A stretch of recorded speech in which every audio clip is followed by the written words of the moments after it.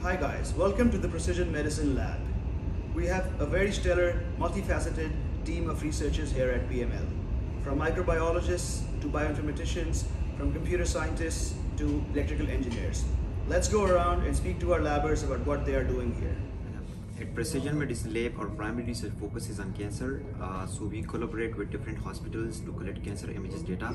And then we use this data to train different machine learning and deep learning models uh, in order to develop automatic diagnosis systems for local cancer patients. Technology is acquiring the character of data science. We generate tons of data using next generation technologies. Here we manipulate that big data using different computational and machine learning tools. In science, uh, data is everything, and without data, you are just guessing. So, here at Precision Medicine Lab, I am just helping the data scientists to gather the relevant data so that they can do uh, its proper analysis. We are living in 21st century with the advent of next generation technology which, which generates uh, gigabytes and terabytes of data.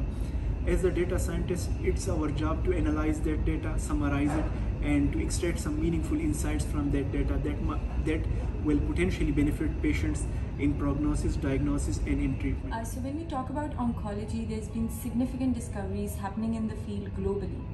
And all that happened when big data came into being.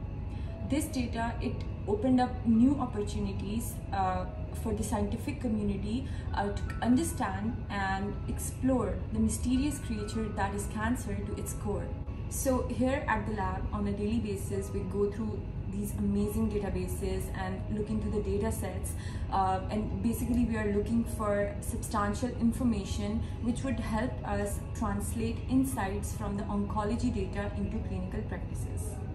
As a data scientist, I never expected to start my career in a place where people would constantly be working on the identification of diseases and finding treatments for them.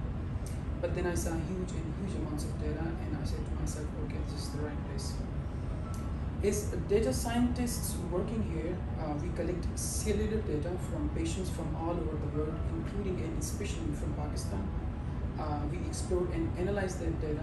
We build machine learning models on that data for predictive analysis, and then we visualize it uh, to tell the story of that data in a more comprehensible way. Research depends on well annotated and high quality biospecimens, especially in the perspective of precision medicine.